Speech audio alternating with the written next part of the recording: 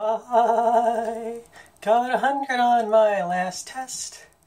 It was cardio, vascular, and respiratory systems. I did really well. I'm really happy. Was a good test, and I'm happy. It's a really, really, really good class. so yeah, 100 on my last test. Wow! Let's see if I can keep this up now. Night all. Rare.